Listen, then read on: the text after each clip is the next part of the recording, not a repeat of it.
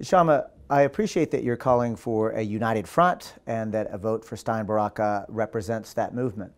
Uh, you know, the Green Party actually has somewhere between a quarter million and 400,000 members and supporters. We've elected thousands of people across the country, including um, a, a, statistic that most people don't know.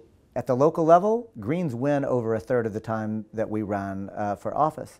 So an invitation not a challenge, a genuine invitation for you, Socialist Alternative, and other progressives and leftists across the country is to consider looking at the Green Party's platform and not just our program and platform, but the fact that we have ballot lines ready to go to consider running with us because I believe that the future uh, is a red, green, black alliance. Red for socialism and the history that, of what that represents, green for the Green Party, but also deep ecology, and black to represent black and brown liberation uh, and an anti-imperial uh, foreign policy. Wondering what you think about that.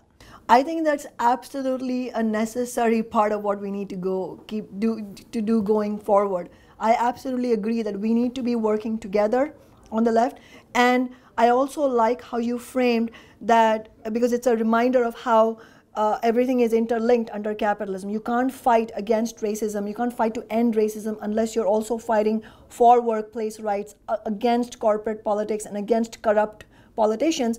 But you also can't do the, the latter without also fighting against racism. So I think uh, the highlighting of the connections between all these various issues is very important. And in fact, what you uh, what you stated, it's sort of metaphorically sort of re reminding me of what happened in 1968, which was the last era of really powerful social movements. But what made it particularly powerful and really a threat to the ruling elite it, it was that was precisely that was that the Native American rights movement, the anti-war movement, women's rights movement, black rights movement, they were all starting to coalesce together because they were all starting to see, wait a minute, we're all actually fighting for an alternative to capitalism and we should all be bringing our movements together. And that understanding was starting to seep in.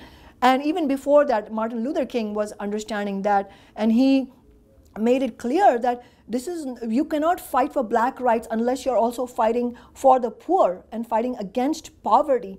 And so all of that needs to be fought against. And really as, as you and i agreed this is a fight against capitalism itself and we are not going to be able to do it as long as we are in uh, little organizations little groups where we have our own agenda and we're not coming together. And i think that the best way to move forward is we be honest, as we have been so far, we be honest about our differences and keep discussing and debating them in an open way. Mm -hmm. But I think that that is completely outshined by the vast majority of social justice agenda that we do agree on. And we absolutely need to work together and not only run candidates from the left in a united fashion, but also use that electoral energy to build mass movements in the grassroots.